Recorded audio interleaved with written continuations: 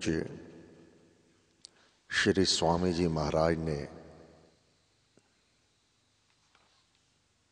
1955 में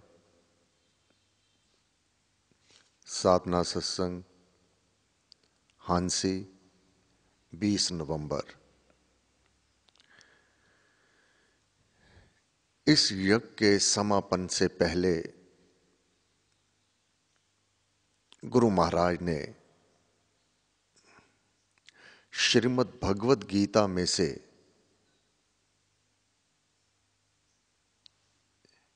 वर्णन किया कि जो देवों के गुण हैं, उनमें सम्मिलित है यज्ञ का करना। गुरु महाराज ने कहा, भाइयों मैं तो यज्ञ को अच्छा समझता हूँ। परंतु यदि यह उच्च भावना व पुरातन रीति से किया जाए, उच्च भावना एवं पुरातन रीति। श्री स्वामी जी महाराज ने कहा, पर आजकल तो यज्ञों का लोगों ने तमाशा बनाया हुआ है।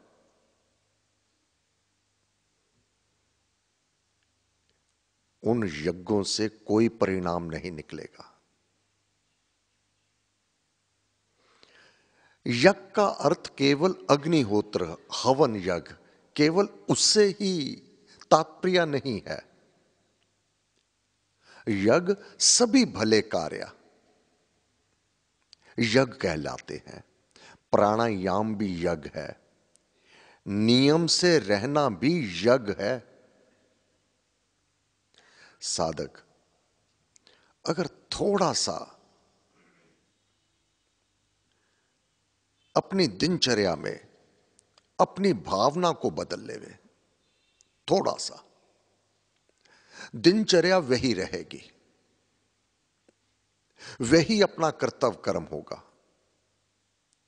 उसी प्रकार उठना, बैठना सब कुछ होगा। परंतु भावना में अंतर होगा। सड़ कुड़ कर कार्य करना अथवा अपने कार्य को यज्ञ समझना कि ये मेरा कर्तव्य कर्म है। कहाँ कहाँ तक यज्ञ में सम्मिलित किया गया? अगर परिवार में किसी बात के लिए एक दूसरे के साथ विचारों का भेद भी आ गया तो उस स्थिति को कैसे संभालना है? उसमें शांत कैसे रहना है? ये सभी शुभ कर्म माने गए। गुरु महाराज ने कहा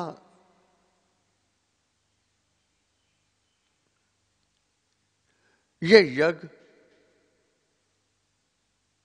तुझे मनोवांछित फल देने वाले होंगे। ये सभी यज्ञ कहा गया, पानी को स्वच्छ रखना।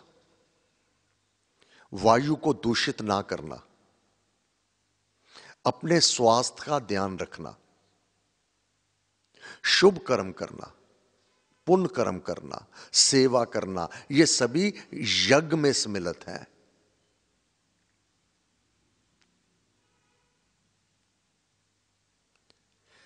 कल्याण के सभी काम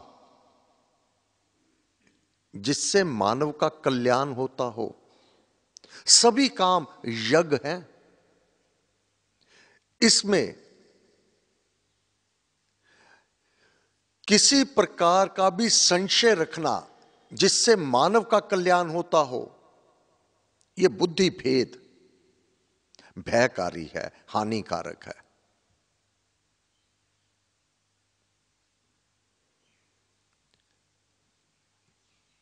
यज्ञ में ही अपना ज्ञान वर्धन करना, ज्ञान को बढ़ाना, और वह केवल स्वाध्याय से, स्वयं पढ़ करके, सदग्रंथों का पाठ।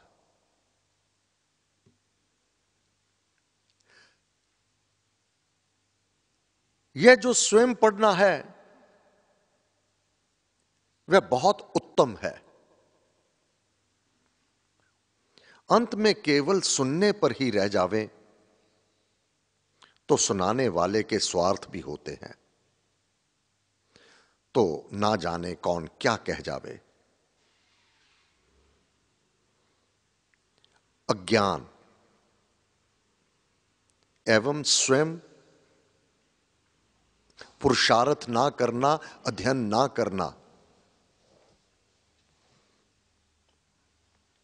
जब तक साधक स्वयं स्वाध्यायशील नहीं होगा, तब तक उसे पूर्ण ज्ञान भी नहीं होगा। हमारे युग में हम जब सब इसमें विचर रहे हैं तो अनुकूलता और प्रतिकूलता तो बनी रहेगी। अपने नितचर्या को अनुकूलित बनाना, कुछ समय स्वाध्याय के लिए अवश्य निकालना।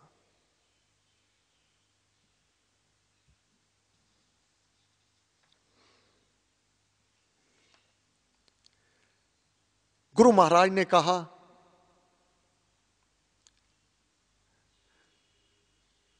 सबको स्वाध्याय अवश्य करना चाहिए। भगवान भी नाम जपने वालों के बस में आ जाते हैं। स्वाध्याय से अपने इष्ट से मिलाप हो जाता है। स्वयं गुरु महाराज ने कहा, गीता, यह अति उत्तम ग्रंथ है। इसका भक्ति भाव पूर्ण भावना के साथ पाठ करना, फिर चिंतन करना, मनन करना, इस पर विचार करना। यहाँ इस पाठ से इष्ट तक का मिलाप होता है,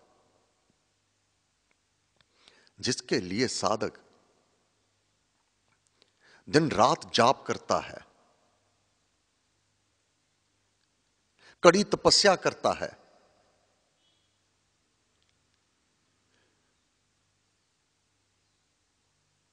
इस यज्ञ से करने से, स्वाध्याय करने से वह अति सुगम हो जाता है।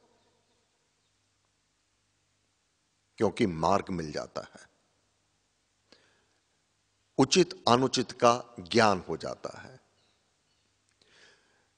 यह स्वाध्याय इतना प्रभाव डालता है, चाहे कम, चाहे ज़्यादा।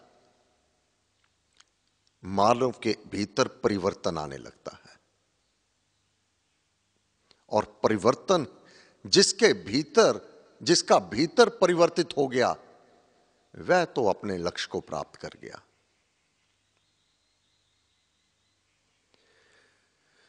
हा, तुम राम नाम का आराधन किया करो। साथ में स्वाध्याय भी किया करो। जहाँ उसका नाम होगा और स्वाध्याय से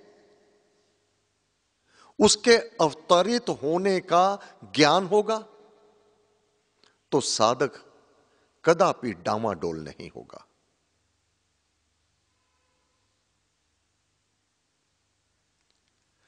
महाराज ने तो कहा है, उसकी कृपा का पूर्ण ज्ञान होना चाहिए।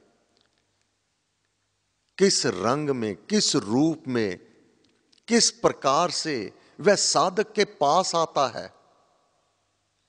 अगर स्वाध्याय नहीं किया होगा तो उसे यही नहीं पता चलेगा कि उस शक्ति से मेरा मिलाप हो चुका है। वह मेरे भीतर आ चुका है। वह प्रकट हो चुका है। उसके आशीर्वाद भरपूर प्राप्त हो सकते रहे हैं। स्वाध्याय से ज्ञान आरंभ हो जाएगा।